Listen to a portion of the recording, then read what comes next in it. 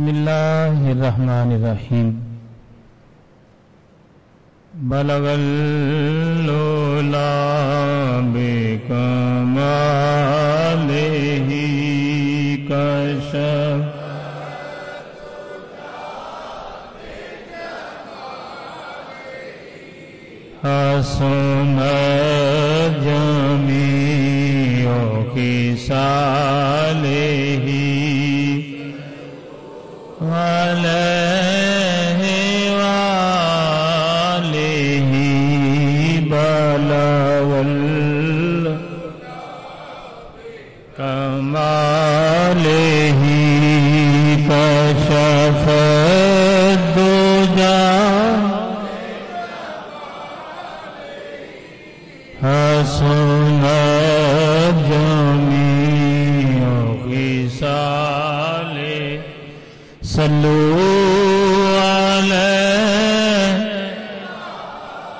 बलगल्ला बेकमालिही कशफत दुजा बेजमालिही हसनत जमी व खिसालिही सल्लु अलैहि वसाबिही वबारिक वसल्लम। पहले तो अल्लाह ताला का शुक्र अदा करें। कि अल्लाह पाक ने हमें अपने और अपने महबूब अलैहिस्सलाम की बातें सुनने के लिए चुना है। लेकिन दो बातें अलग हैं। एक है सुनाने वाला और एक है सुनने वाला। जैसे सुनाने वाले पे अल्लाह का करम होता है ना कोई कोई बयान करता है। ऐसा ही है ना? हर बंदा बयान नहीं कर सकता। कुरान और हदीस को कोई कोई बयान करता है, जिसे अल्लाह चुन लेता है। इसी तस्वीर का दूसरा रुख भी देखें कि जैसे सुनाने वाला कोई कोई होता है, ऐसे सुनने वाला भी कोई कोई होता है। हाँ जी, आपके घर में कितने लोग हैं? घर में, खानदान के नहीं, घर के कह रहा हूँ। कितने लोग होंगे? वो जुम्मा पढ़ने आते ही नहीं है, पढ़ते ही नहीं है। खानदान के लोग ले लें, दोस्तों में ले लें, हल्के अहबाब में ले लें। आते ही नहीं जुम्मा पढ़ने, ज़रूरत ही नहीं, टेंशन ही कोई नहीं है। एक जुम्मा पढ़ने नहीं आते, दूसरी टेंशन भी कोई नहीं है। इधर सूरत हाल क्या है? जुम्मा गुजरता है तो अगले जुम्मे की टेंशन शुरू हो जाती है। कर्म कितना है? ये शुक्र अदा करें कि उसने हमें अपने और अपने महबूब अलैहिस्सलाम की बातें सुनने के लिए हमारे दिल में उसने मोहब्बत रख दिया और ये हर किसी के नसीब में नहीं है। हाँ जी बड़े बड़े ऐसे लोग होते हैं जो बैठे भी होते हैं और होते नहीं है। किसी काम से, किसी मतलब पे, किसी टारगेट पे आए होते हैं। फलां से मुलाकात कर लेंगे ना, चलो मेरा मसला हल हो जाएगा। उससे मैं कहूँगा ना, पिछले जुमे भी उससे मैंने कहा था, यार मनु पैसे चाहिए देने। पिछले जुमे मैंने कहा था, मैं फलां बंदे को टेलीफोन कर देना। उससे मेरा काम है ना, दुनियादारी के मामला में। आते ही टारगेट पे, हर जुमा पढ़ने के लिए बाहर खड़े होते हैं। मैं देखता हूँ खुद आँखों से। वो पीछे खड़े होते हैं बाहर। जानबूझ के लोगों को टारगेट कर रहे होते हैं ऐसे ऐसे मिलना। अल्लाह के घर में आगे भी किसी और से मांगना। पागल हो गया तू भी यार। आपको पता है एक मसला है कि मस्जिद में कोई बंदा मांग रहा है ना तो उसको नहीं दो मस्जिद में। ये शरई मसला है। जैसे होता है ना, मस्जिद में खड़े होकर मांगते हैं, जी, मेरा बच्चा हॉस्पिटल में मेरी बीवी हॉस्पिटल में मांगते हैं ना, खड़े होके। शरई हुक्म यह है कि उसको मस्जिद में नहीं देना, मांगना भी मना है और देना भी मना है। उलमा ने यहाँ पर लिखा है कि अल्लाह ताला के घर में आके फिर गैर अल्लाह से मांग रहा है, फिर तेरा तवक्कल बंदों पर ही है। पीर खाने पे आके, पीरों के पास आके, उलमा के पास बैठ के, तेरा इतना भी तवक्कल पक्का नहीं हुआ तो क्या फ़ायदा फिर तेरे आने का? अगर तेरा यह भी यकीन कायम नहीं हुआ कि मस्जिद में आके मैंने अल्लाह से मांगना है, वैसे तो हर जगह से अपने रब से ही मांगना चाहिए, लेकिन उसके घर में आके भी। एक है कि कोई बंदा कह रहा है, यार, चलो मैं जाऊँगा, पीर साहब को अपने मसाइल सुनाऊँगा।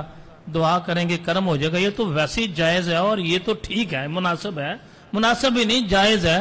करीम अकल इस्लाम की बारगाह में साहब कराम आते थे अपनी अपनी परेशानियाँ सुनाते थे कि, यार सुल्ला निगाह कर्म फरमा दे, दुआ फरमा दे। बल्कि साहबा का तो अकीदा होता था कि सरकार ने नज़र कर दी तो मेरा काम वैसे ही हो जाना है। अल्हम्दुलिल्लाह, हम भी उसी अकीदे पर कायम है। हमारा तो अकीदा है कि नबी पाक इस्लाम तो नाम, जात तो बड़ी वराउल वरा है ना? हमारा तो अकीदा है दाता ये ज्वेरी निगाह कर दें फिर भी काम हो जाता है हम तो इस अकीदे के मालेंगे भाई लेकिन ये बात जहन में रखें खुश नसीबी आपकी मैं आपको बिल्कुल ठीक कह रहा हूं कई बड़े फिलासफर किस्म के लोग आते हैं होते हैं भला क्या करते हैं वो अपनी तरफ से गेम खेलते हैं ਕੋਈ ਨਹੀਂ ਅਖੀਰ ਤੇ ਜਾਵਾਂਗੇ ਪੀਰ ਸਾਹਿਬ ਤੇ ਵੇਖ ਹੀ ਲੈਣਗੇ ਉਹ ਚੱਲਿਆ ਪੀਰਾਂ ਨੂੰ ਵਿਖਾ ਕੇ ਕੀ ਕਰਨਾ ਤੂੰ ਕੀ ਫਾਇਦਾ ਹੋਇਆ ਜੇ ਮੈਂ ਵੇਖਾਂ ਤੇ ਉਹ ਨਾ ਵੇਖੇ क्या फ़ायदा होगा तेरा आने का? क्या फ़ायदा होगा? वो अल्लाह की रजा के लिए आ।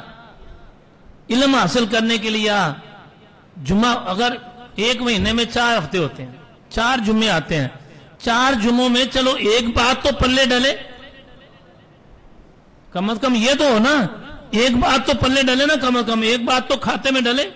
चार हफ्तों में, महीने में एक अपनी गलती तो दूर कर ले। एक महीने में एक गलती दूर करो। साल में कितने महीने होते हैं? बोले, एक साल पर बंदा वैसे ही सूतर हो जाए। उम्रें गुजर गई, आते आते उम्रें गुजर गई। झूठ बोलना है तो बोलते ही जाना है। अगर नजायज किसी बाहर औरतों से तल्लक है तो कायम रखे हुए हैं। औरतों का किसी मर्द से तल्लक है तो कायम रखा हुआ है। जुम्मा भी पढ़ रहे हैं, आ भी रहे हैं। क्या फ़ायदा यार? अगर पीर खाने पर आकर, किसी आलम दीन के पास आकर, किसी बुज़ुर्ग के पास आकर, हम तो ओलमा की जूतियाँ सीधी करने वाले, बुज़ुर्गों की जूतियाँ सीधी करने वाले हैं ना, लेकिन किसी दीनदार के पास आकर, अगर अपनी सलाह ना की तो क्या फ़ायदा होने का हुआ? असल मकसद होता है जुमा पढ़ने का कि मेरी इसलाह हो जाए, जो मेरी गलतियाँ ना वो दूर हो जाए। एक बात और भी जहन में रखें, जो पीर जो पीर, किसकी बात कर रहा हूँ? बड़ी तकलीफ़ होगी। दो नंबर को, एक को नहीं, एक तो हमारे सरों के ताज है ना। एक तो हाथ चूमना तो बड़ी बात की बात है। मैं तो कह रहा हूँ, मैं तो उनके पाँव भी चूमता हूँ, जो अल्लाह के वली हैं, उनके तो चूमना वो तो कोई बुरी बात नहीं है। एक बात याद है जो पीर दुनिया में और ज़िंदगी में आपकी, कहाँ पर? ये लोग अभी सारे नहीं आए ना? कई बड़े फिलासफर हैं, वो देर ना लांदे ने। जो देर से आएगा, उसे देर से ही मिलेगा। जो जल्दी आएगा मस्त है, उसको कीमती चीज़ मिल जाएगी ना? सुने जरा। कि ये एक दस्तू, एक अल्लाह ताला के एक निज़ाम है। कुछ अल्लाह ताला ने एक निज़ाम ऐसा बनाया बंदों का, परवरदिगार का, जो पीर दुनिया में अपने मुरीद को अल्लाह ताला के पास नहीं पहुँचा सका, अल्लाह की बारगाह में नहीं ले जा सका, अल्लाह ताला का कुरब नहीं दिला सका। ऐसे कह लें जो पीर अपने मुरीद को अल्लाह ताला से नहीं जोड़ सका। अल्लाह पाक की बारगाह में नहीं भेज सका। अल्लाह पाक का कुरब नहीं दे सका। जो दुनिया में तुझे अल्लाह का कुरब नहीं दे सका, वो अब आखिरत में तुझे जन्नत दिला देगा। क्या हो गया तुझे यार? जो दुनिया में तुझे रब से नहीं मिला सका, जो दुनिया में तेरा इतना ईमान पक्का नहीं कर सका कि तूने अल्लाह से मांगना कैसे है? जो दुनिया में रह के तुझे गुनाहों से दूर नहीं कर सका जिसने तेरे अंदर एहसास से गुना पैदा नहीं किया, जिसने दुनिया में रहकर दुनिया में आपको बुला के, पास बिठा के, तेरी बुरी आदतें नहीं छुड़ा सका, तू क्या महसूस करता है? फिर वो तुझे जन्नत दिला देगा। ऐसा नहीं है। हाँ इसमें एक और बात भी है। एक अगर बुज़ुर्ग है, उसके पास अगर दस हज़ार बंदा आता है, दस हज़ार में से नौ हज़ार तो जो है वो तो कुर्ब इलाही में चला गया। तो एक हज़ार पहले अपना छन्नी से छाने कहीं वो बद अकीदगी में तो नहीं आ रहा? कहीं ऐसा तो नहीं है किसी मतलब के लिए आ रहा हो। यहाँ तो दस हज़ार के दस हज़ार को नहीं मिल रहा ना, फिर तो देने वाला फ़र्क है। अगर सब ले रहे हैं और तेरी बदकिस्मती है तो अपने आप को दुरुस्त करना चाहिए। होता क्या है मुआशरे में, जो मैं देखता हूँ, मैं जो देखता हूँ, मुआशरे में क्या होता है? अपनी गलती नहीं देखनी। ना ना। क्या करना है? अपनी गलती नहीं देखनी, करना क्या है? अपनी गलती नहीं देखनी, कहना, जी हाँ जी, देखो जी, फला तो वहाँ चला गया तो मैं वहीं खड़ा हूँ, फला तो वहाँ चला गया, मैं तो वहीं खड़ा हूँ। वो भाई मेरे, पहले फला के बराबर अपना कीदा भी तो लेके आना। देखना तो ये है कि किसी बुज़ुर्ग के पास आके, किसी आलिम दीन के पास आके आप नमाज़ के पाबंद हुए हैं? सवाल ये है। आप कुरान पाक पढ़ने वाले हुए हैं? सवाल ये है। आपने गुनाह छोड़े हैं? सवाल ये है, आपने बुराइयों को छोड़ा है? सवाल ये है, आपके मन में शर्मो हया पैदा हो गई है? सवाल ये है, अगर ये सारी चीज़ें पैदा हो गई हैं तो फिर ख्याल कर, देख बना तेन रंग लगा कि नहीं लगा और अगर अभी भी चोरी चोरी करने की आदत है गुना छुप छुप के करने की आदत है, अभी भी गेम करने की आदत है तो फिर बात बनेगी नहीं। पता कुरान क्या ऐलान करता है? सुने जरा। कुरान पाक क्या ऐलान करता है? ये कुर्बानी का मौसम है ना? हर बंदा जो है वो सोच के आता है। हर बंदे के अंदर जैसे कुर्बानी है आगे रबी अव्वल आएगा मतलब जैसे जैसे महीने आते हैं, उलमा उसके मुताबिक बात करते हैं। मैं ये कहता हूँ, अगर किसी बंदे का ईमान ही मज़बूत नहीं हुआ, क्या नहीं हुआ? फिर बोले तो यार किसी पीर खाने पर, किसी आलम दीन के पास जाके तेरा बैठने का क्या फ़ायदा? उलमा के पास बैठने का, फुकरा के पास बैठने का, औलिया के पास बैठने का सबसे बड़ा फ़ायदा यह होता है कि बंदे का ईमान मज़बूत हो जाता ताज़ा हो जाता है उसका ईमान। आप देखते हैं ना, माली पानी लगाता है ना पौधों को।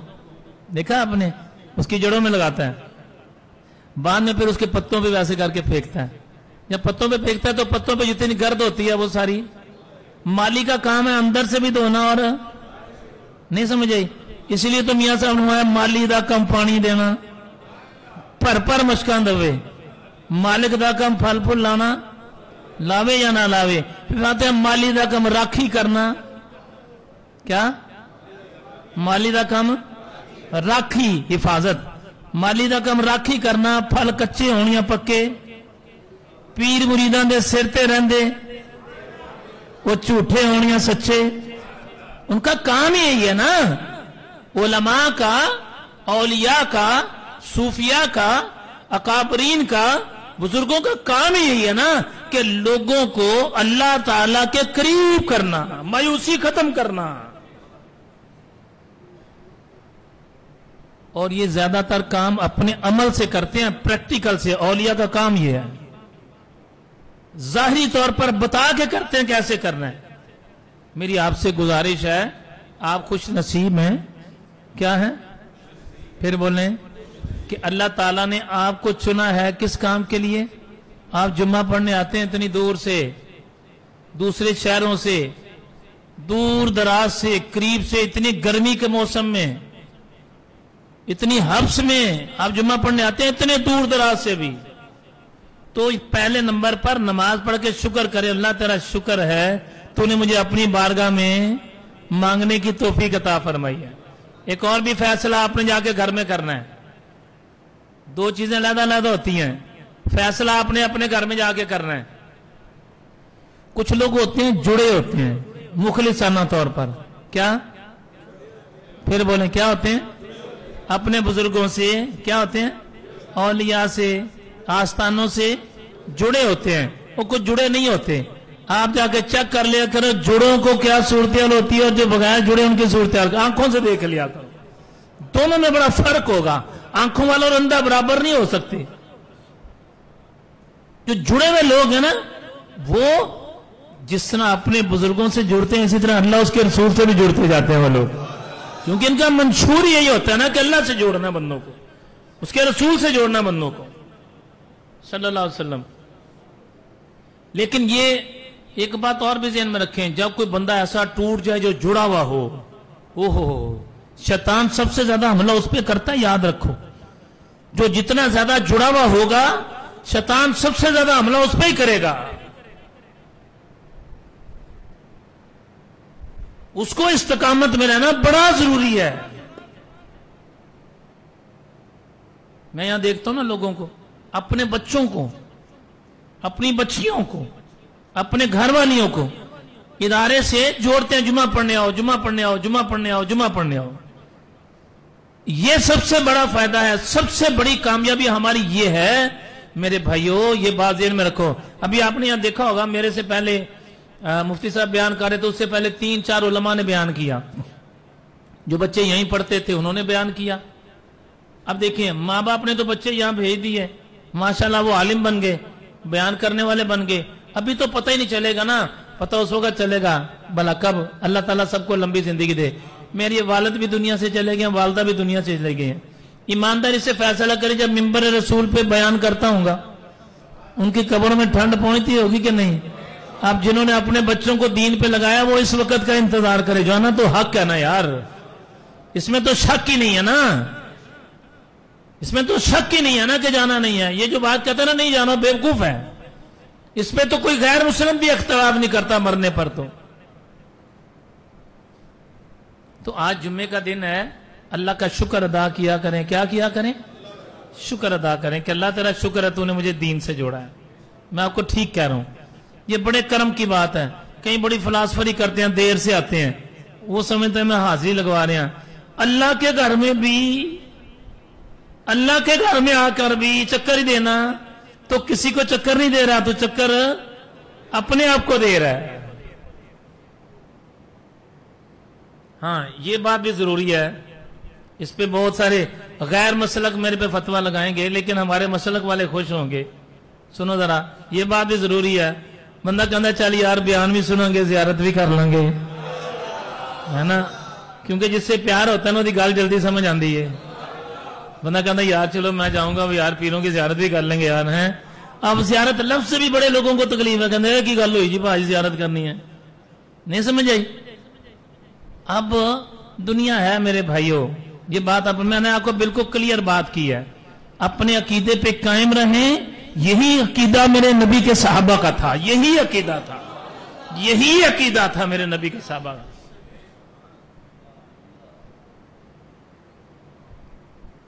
कि करीम इस्लाम की जियारत हो जाए, बात खत्म हो जाए। नौजबिल्ला इसका मतलब ये नहीं है कि किसी आम बंदे को नबी समझा जा रहा है। नहीं नहीं। यानी बुज़ुर्गों की जियारत के लिए आना, बुज़ुर्गों से मिलना ओलिया से मिलना ओलमा बामल ओलमा की कदर करना, उनकी जियारत करना कुफारा गुना है। अब कुरान पाक की आयत मुबारक सुन लो रहा था कि आपको सूरत इनाम किया बिस्मिल्लाहिर्रहमानिर्रहीम। अल्लाह ताला कुरान पाक के अंदर ऐलान फरमाता कुल इन्ना सलाती व नुसुकी व महया व ममाती लिल्लाहि रब्बिल आलमीन। हाय हाय हाय। कुल इन्ना सलाती व नुसुकी। अल्लाह ताला का कुरान में इरशाद सुनो क्या है। अल्लाह पाक फरमाता कुल इन्ना सलातिया महबूब अलैहिस्सलाम फरमा दीजिए, यकीनन मेरी नमाज़, मेरी कुर्बानी, मेरा जीना, सिर्फ़ सिर्फ़ अल्लाह, मेरा मरना सिर्फ़ और सिर्फ़ अल्लाह के लिए है जो सारे जहानों का मालिक है। कुलिन्ना सलाती, मेरी नमाज़ भी अल्लाह के लिए। अल्लाह। क्या? सिर्फ़ अल्लाह के लिए नमाज़। किसी बंदे के लिए नहीं। हाँ एक बात ज़रूर है। नमाज़ अल्लाह की है। क्या? फिर बोलो। इबादत अल्लाह की। क्या? अब नमाज़ किसकी है? कल मैं मगरब की नमाज़ उधर पढ़ाते हैं, हम नए मरकज में। रोज़ाना तो मैं नमाज़ के बाद दोस्तों को बयान कर रहा था तो एक बात सामने आई। बड़ी देर पहले इसको मैंने गुफ्तु की थी यहाँ पर। नमाज़ किसकी? कुलिन्ना सलाती व नुसुकी। हाय हाय। नमाज़ किसकी? बड़ा मज़ा आएगा मेरी बात सुनेगा तो। नमाज़ किसकी? फिर बोलो अच्छा रुकू जो है, कयाम करना। क्या?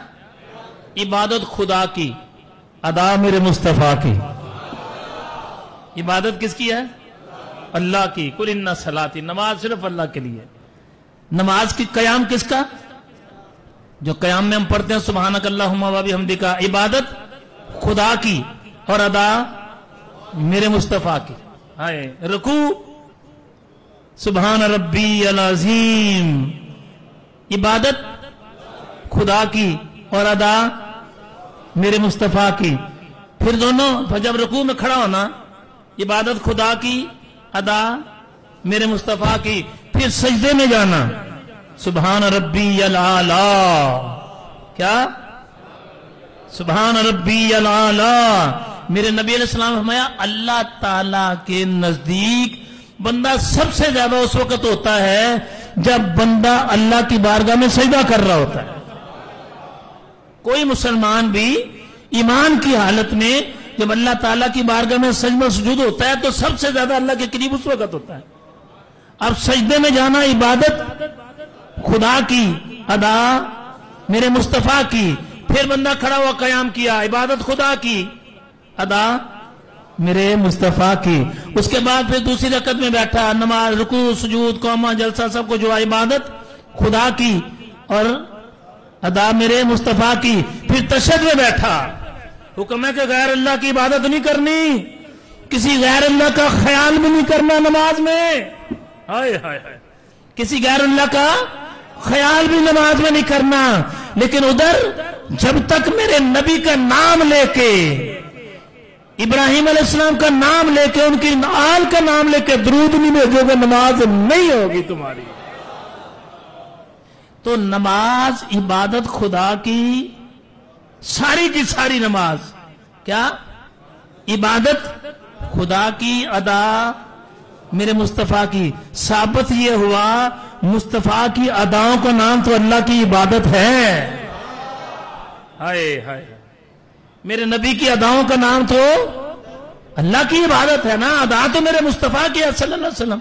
इधर कुरान क्या ऐलान फरमा रहा है? कुरान ऐलान फरमाता है, कुल इन्ना सलाती व नुसुकी। के नमाज़ सिर्फ़ अल्लाह के लिए, बस। किसके लिए? नमाज़ अल्लाह के लिए, कुर्बानी अल्लाह के लिए, जीना अल्लाह के लिए, मरना अल्लाह के लिए। और कुरान आगे के आखिर में नाम हुआ था कि अल्लाह सारे जहानों का मालिक है। दुनिया में तो इबादत कर, दुनिया में तो कुर्बानी दे, दुनिया में तेरा जीना मरना अल्लाह के लिए हो, ना दुनिया में तुझे कमी आएगी, ना कब्र में, ना हशर में। अच्छा अब कमी का जब ज़िक्र आता है तो हम क्या सोचते हैं? यार, मैं तो पहले भी गरीब सा। मैं तो पहले भी तंग दस्त है ऐसा मैं तो पहले भी बीमार है ऐसा मैं तो पहले भी परेशान था। नमाज़ के बाद उम्र गुजर गई, नमाज़ पढ़ते हुए। उम्र गुजर गई, गरीबी नहीं खत्म हुई। सुनो जरा, हम समझते हैं कि पैसे, दौलत का नाम ही सारा कुछ है। ये देख, तेरी उम्र गुजर गई, अल्लाह ने तुझे ईमान से दूर तो नहीं जाने दिया। अपने कुरब से दूर तो नहीं जाने दिया, अपनी मोहब्बत से दूर तो नहीं जाने दिया, अपने नबी की मोहब्बत से दूर तो नहीं जाने दिया। तेरी नस्ल को अल्लाह ताला अपने करीब, अपने महबूब के करीब रख रख, नहीं रख रहा। ये सवाल है तेरा। असली दौलत तो ये है कि तेरी औलाद दीनदार बन रही है कि नहीं बन रही। असली दौलत ये है, तेरी नस्ल दीन की तरफ़ आ रही है कि नहीं आ रही। असली दौलत ये है कि तेरे पास जो दुनिया है, उसमें तू तीन बारी की तरफ़ आ रहा कि नहीं आ रहा? अब आगे ना, कुर्बानी है। क्या है? फिर बोलो। हम माशाल्लाह, ये ज़्यादा दिन दूर नहीं है। कुर्बानी के दिन है। पता है मेरे नबी पाक अलैहिस्सलाम ने क्या फरमाया? नबी करीम ने इर्शा फरमाया, अपनी बेटी से फरमाया, फातिमा रज़ी अल्लाह से फरमाया, फातिमा, उठ।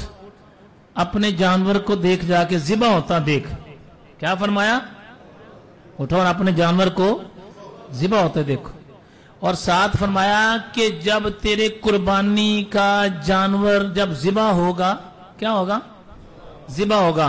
तो उसका खून का कतरा ज़मीन पर गिरने से पहले अल्लाह कुर्बानी करने वाले के गुना माफ़ फरमा देगा। अल्लाह। ये कौन मुस्तफ़ा है? मेरी बात नहीं है, ये अल्लाह के नबी की बात है। खलूस नीयत के साथ कुर्बानी की जाए, वो किसी ने हिस्सा मिलाया है या अपने घर में अकेला कर रहा है?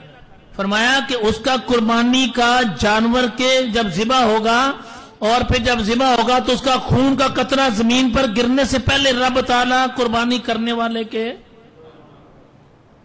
एक और तबका यहाँ पर कहता गरीबों को दे दो। उसे बंदा पूछे कि ਅਸੀਂ ਕੁਰਬਾਨੀ ਕਰਕੇ ਨਵਾਜ਼ ਸ਼ਰੀਫ ਨੂੰ ਦੇ ਕੇ ਆਨੇ ਆ ਜ਼ਰਦਾਰੀ ਦੇ ਘਰ ਦੇ ਕੇ ਆਨੇ ਆ हैं हम कुर्बानी करके किसको देते हैं अपने खानदान के वो लोग और इलाके के वो लोग यहां बैठने वाले कितने सारे लोग हैं जो इतनी कुर्बानियां देते हैं और सारे के सारे गरीबों में बांटते हैं अच्छा फिर ये बात जेल में रखें गरीब को देना एक अलहदा इबादत है ये बात जेल में रखो कुर्बानी करना एक अलग इबादत है। एक इबादत को छोड़कर दूसरी करना कुछ समझदारी है, जो इबादत अल्लाह ने मुकर्र की है। वो तो इबादत है। चूँकि पाकिस्तान को सेकुलर बनाना चाह रहे हैं ये, और वो अपने मंशूर पे काम कर रहे हैं ये। मेरे कहने का मकसद फकत ये है कि कुर्बानी करें। ये जो डावाडोल है ना, पिलपले यार नहीं ऐश्वर्य हालात बड़े खराब ने। ऐश्वरी हालात बड़े खराब ने। पाकिस्तान जब बना था तो उस वक्त भी हालात खराब थे। क्या था? और आज भी हालात खराब है। पाकिस्तान जब बना था ना तो एक रुपए की कनाल ज़मीन मिलती थी। बोलो, कितने की? आठ आने की कनाल ज़मीन मिल जाती थी। कितने की मिलती थी? तो करोड़ रुपए की कनाल नहीं लभ दी गलत कह रहा हूँ। हालात बड़े खराब हैं इसमें कोई शक ही नहीं है। मैं हालात खराब की बात नहीं करना, गुजारिश क्या करना चाह रहा हूँ? खुदारा, अल्लाह की इबादत को मत छोड़ो। ये जो कह रहे हैं, कुर्बानी ना दो, गरीबों को दे दो, ये तो अपने मालों में से जक़ात नहीं निकालते। और आपको कहते हैं, कुर्बानी ना दो। जाके चेक कर लो आप।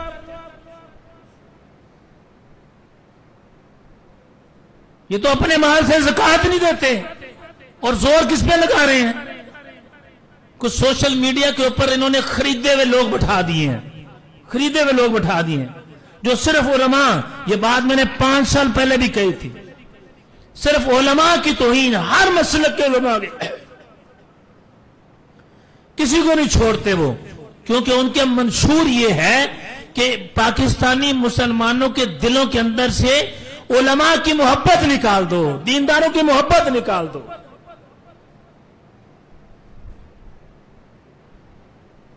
लेकिन एक बात याद रखो, सारी दुनिया एक पास हो जाए सारा पाकिस्तान एक पास हो जाए तो एक भी दाता आ गया ना,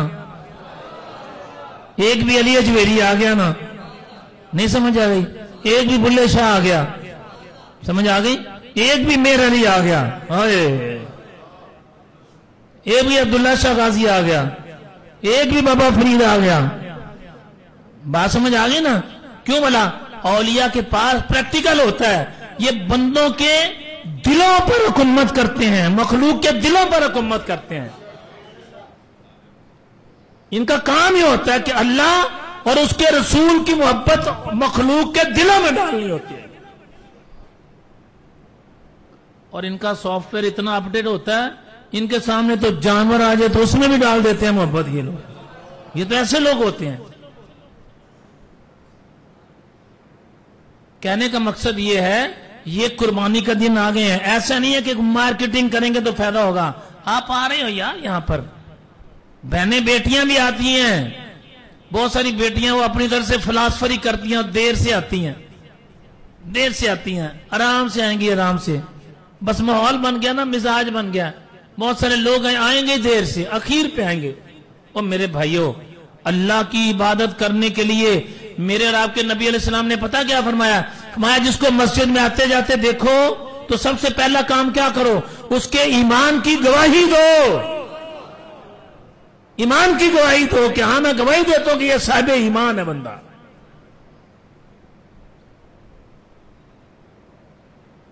ये जो असल में ना हमें पैसा खर्च करने से, कहाँ से? अल्लाह के राह में खर्च करने की आदत नहीं रह गई। हाँ यहाँ भी दो तबके हैं। दो तबके यहाँ पर भी।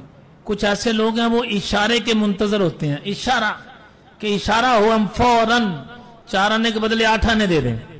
दस रुपए के बदले सौ रुपया दे दें। कुछ लोग ऐसे होते हैं, इंतज़ार में होते हैं। हुक्म हो, पूछता रहते हैं, हुक्म हो तो हम फ़ौरन दे दें। और कुछ लोग ऐसे होते हैं दे रहे होते नहीं समझ आई। कहते रहो तो फिर भी, यहाँ में, मैं आपको बात बता दूँ, आपकी तबीयत खुश हो जाएगी। जिस कुएँ से पानी निकलता रहे, फिर बोलो, और कंजूसो बोलो। जिस कुएँ से पानी निकलता रहे, उसका पानी खत्म ही नहीं होता। नहीं समझ आ रही? जो अल्लाह की राह में खर्च करता रहेगा, कायनात का मालिक उसकी नस्ल को भी गरीब नहीं होने देगा। मुस्तफ़ा जमाल इस्लामिक चैनल को लाइक, शेयर और सब्सक्राइब ज़रूर कीजिए। अपनी कीमती आरा से भी आगाह करने के लिए कमेंट बॉक्स में कमेंट्स लाजमी कीजिए। हमारे मुस्तफ़ा जमाल इस्लामिक चैनल को सब्सक्राइब कीजिए, शेयर कीजिए, लाइक कीजिए और बेल आइकन को दबाना मत भूलिए ताकि हमारी आने वाली हर वीडियो आप तक बर वक्त पहुँच सके।